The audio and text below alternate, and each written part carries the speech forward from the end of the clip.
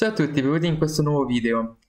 Oggi continuiamo la rubrica di approfondimento sulle aperture e approfondiamo l'apertura spagnola, apertura famosissima, giocatissima.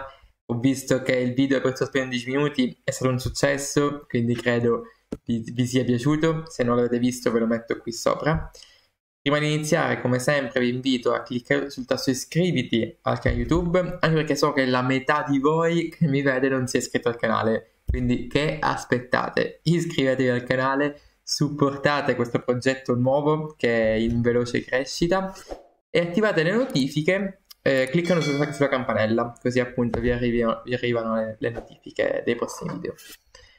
Allora, apertura spagnola, mh, mm, abbiamo comunque già visto eh, le linee principali della spagnola, oggi vediamo più in dettaglio l'attacco Marshall, ovviamente la variante più temuta da bianco della spagnola perché è quella più aggressiva effettivamente il nero può dare molto fastidio al, al gioco del bianco. La partita di oggi è tra Kramnik e Aronian, giocatori fortissimi, famosissimi, super top GM, eh, non sto qui a, a dirvelo, che hanno giocato questa, questa partita eh, qualche anno fa, oh, non mi ricordo esattamente l'anno, forse 2000 15, vabbè, poco importa.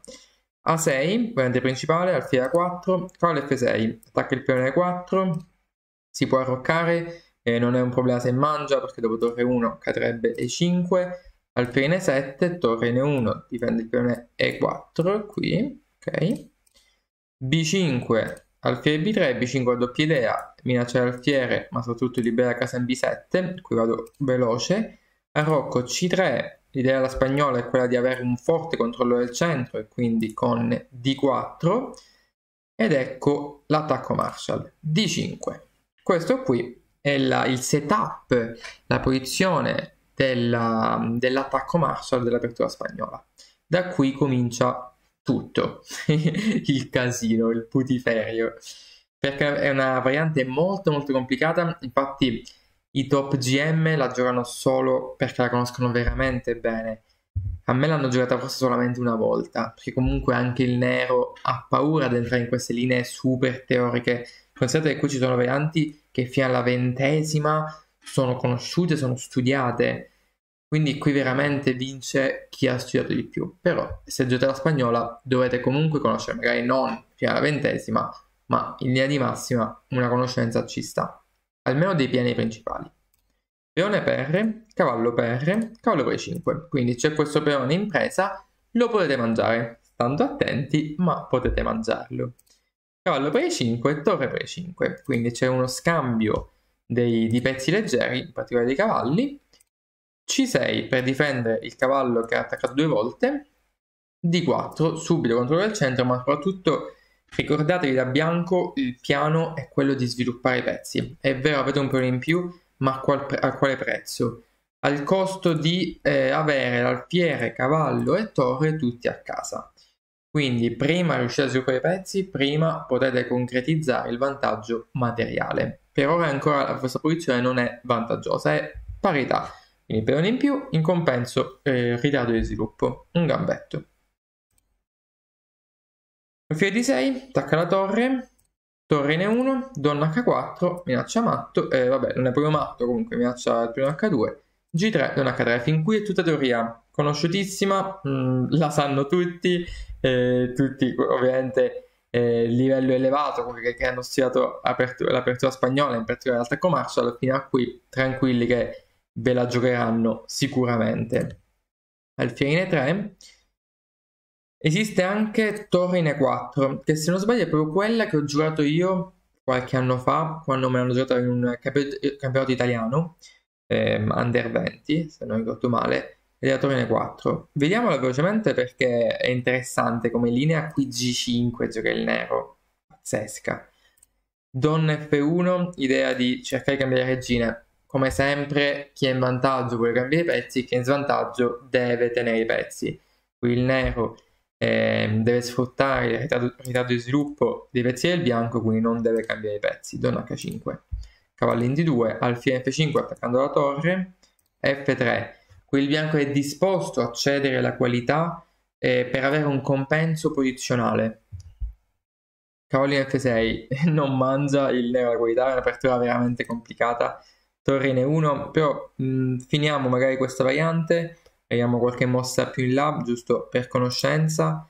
Torre in E8, scambio di torri, A4, qual è l'idea? Liberare la, la torre, donna G6, peone per, alfiere in D3, donna F2, considerate errore, la migliore è donna D1, alfiere in E2, donna E1, alfiere D3, poi vabbè qui si può dare il perpetuo, se non vi danno il perpetuo quale sarà il vostro piano? Chiaramente cercare di sviluppare questo alfiere, quindi se il cavallo magari lo fate uscire eh, potrebbe dare spazio all'alfiere e questa torre invece deve giocare nella colonna Chiaramente è molto difficile comunque giocare in questa posizione perché siete molto passivi, come, come potete vedere. Ritorniamo alle eventi principali perché qui Kramnik ha giocato alfiere 3. Piede G4, attacca la regina, donna di 3, unica, state attenti, qui, infatti, eh, qui dovete studiare, qui sì, perché qui attenzione che tipo a donna di 2 c'è matto, subito, partita persa, quindi se giocate la spagnola e siete disposti ad entrare in questo evento attacco Marshall, questa studiatela, questa è, è importante. Per G4 l'idea è per F3, quindi donna D3, idea donna F1, torre in E8, con i 2 perché chiaramente su F3, donna F1, para il matto. Ok, cavallo D2, torre in E6, guardate qui, la torre sta arrivando e minaccia un altro matto che posizione difficile da bianco, anche perché chi gioca la spagnola è abituato ad attaccare. Quindi io, che ho giocato molto spesso la spagnola, questa apertura la detestavo. L'attacco Marshall è veramente difficile giocare da bianco. Però si può. Ovviamente qui, qui Kramnik sta ed è, è in pieno controllo della posizione. Quindi non bisogna andare in crisi se il vostro avversario vi sta attaccando. Ok, calma, si ragiona, qui la partita è assolutamente equilibrata, quindi basta trovare tutte le mosse per difendere. Donna F1, donna H5, F3, qui in realtà si può giocare pure a 4, 4 ehm, esiste, il, piano è sempre lo stesso, quello di sviluppare la torre A. Effettivamente questa torre non ha gioco in D1, C1, B1 perché è tutto bloccato, quindi è interessante questa 4 per questo motivo. F5 per esempio, F4, bloccare invece l'attacco nato di Re sarebbe ottimo per il bianco. Peone per, alfiere D5, peone per, donna G2 che attacca il pedone D5, torre in E8, donna per D5, molto interessante, donna F7, cavallo C4 e qui il bianco sta benissimo secondo me. Il bianco sta benissimo, si è liberato, non ha più alcun problema, la torre qui minaccia 4 ma poi minaccia anche A6, Qui mi piace molto la posizione del bianco. Torniamo indietro perché non ha giocato a 4, eh, Kramnik ha giocato F3. Ha avuto un po' paura Kramnik della posizione perché F3 è una mossa molto difensiva. Cavallo per E3, donna F2, cavallo in D5, F per G4.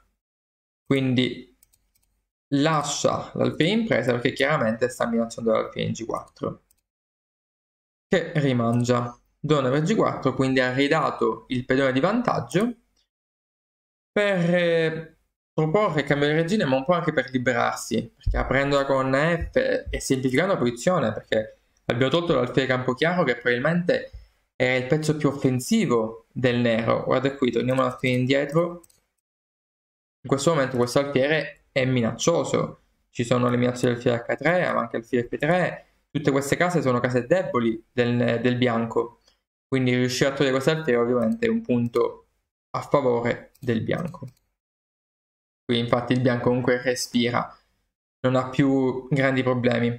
Donna 5 è considerata debole, si poteva fare donna per F3, mm, cavallo per F3, torre 8, mantenendo il controllo della colonna E, qui il nero non stava affatto male, poteva benissimo giocare questa linea, Oppure anche donna G6, pure interessante donna G6, con torre per 6, donna per 6. Era anche una linea che poteva, poteva scegliere il nero, qui si poteva giocare tranquillamente. Vediamo invece donna d5. Donna d5, torre per, peone per, cavallo in e4. L'e4 è veramente ottima, infatti mette questo cavallo in una posizione, in una casa fantastica, una casa centrale, ehm, veramente ottima, minaccia la regina, minaccia l'alfiere, eh, questo pedone isolato e viene, ok, non, non proprio bloccato, ma quasi, in futuro magari può essere anche attaccato, insomma veramente un, un, ottimo modo per rimuovere il cavallo da una posizione di, di attacco. Infatti la regina sta mettendo il cavallo. Donna G6. Qui possiamo vedere che su torre per F3 c'è cavallo per G5, torre in E3, re in F2. Forte. In F2 è mossa forte, infatti qui cosa, cosa può fare il nero? Forse unica. Torre in E2. Ah no, vabbè, può anche rimanere la torre qui perché in realtà è difesa però si minaccia alfiere di 5 quindi qua la torre si deve, si deve togliere certo. Perché vabbè H6 alfiere di 5 ovviamente quindi torre in D3 e, e secondo ok a parte che c'è il pedone 6 sotto ma secondo me la torre la perde. Alfiere per pedone per re 2 e sì la torre cade. Fatemi analizzare un attimo sì dai direi che la torre cade quindi per questo non si può mangiare la regina, donna G6, donna N2, cavallo F4. F4 in realtà è interessante come mossa, però non è, non è considerata la migliore. L'idea è di sfruttare l'inchiodatura del peone G3 e minacciare la regina. Però in realtà alfiere F4 potrebbe essere più interessante con l'idea poi di entrare con alfiere 3 scacco, oppure anche alfiere in E7 potrebbe essere giocata poi seguiva torre 1, anche se sinceramente qui analizzando la posizione del bianco non dispiace affatto, anzi io la giocherei tranquillamente da bianco. Questo primo 6 viene, viene attaccato, quindi è veramente buona. Andiamo avanti, cavallo F4, donna in eh, C2, idea di difendere il cavallo, scusate, bevo un attimo. Ok, Donna C2 difende il cavallo. In H3 scacco. Re in G2. Donna in G4. Alfiere per E6. Questa è la mossa clou. Infatti, donna in G4, eh, anzi no, cavallo H3 risulta essere sbagliata perché il nero non si è accorto di questa combinazione che ora vediamo. Re G2, donna G4, alfiere per E6. Questo è il trucchetto, mettiamola così, che il nero non ha visto e che confuta la variante con H3 scacco. Infatti donna per 6, donna B3, cavallo F4 scacco. L'idea qual è? Che questo cavallo non può sfuggire. Quindi su donna per donna, peone per, il cavallo no, eh, viene mangiato. Non c'è modo di difenderlo. Con di 5 c'è il cavallo qui. Con l'F4 viene mangiato. E quindi, come sappiamo, cambiando le regine è un, un punto a favore del bianco e quindi per questo motivo, una volta che il bianco evita questo attacco, va in vantaggio. In realtà il nero, quindi Aronian, non ha mangiato subito, ha fatto prima con l'effetto scacco, peone per e poi donna per. Posizione simile, giustamente si è mangiato il pedone, però qui il, il bianco ha un ottimo gioco. Torre per A6, va un peone in più.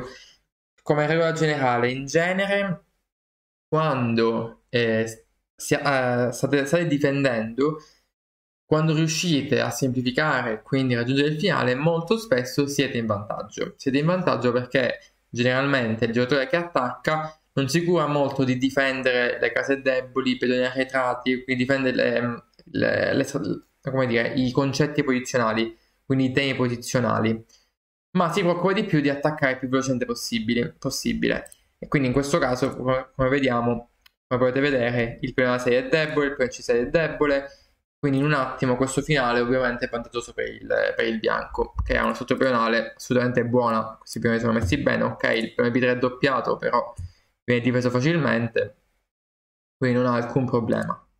Torre C8, cavallo C5, vediamo come si può vincere questo finale. Re in F7, cavallo in D3, G5, cambio. Perché un cambio? Perché questo peone ora viene facilmente attaccato si mangia e siamo già a due primi vantaggio, il pianeta con due primi vantaggio ovviamente è vinto.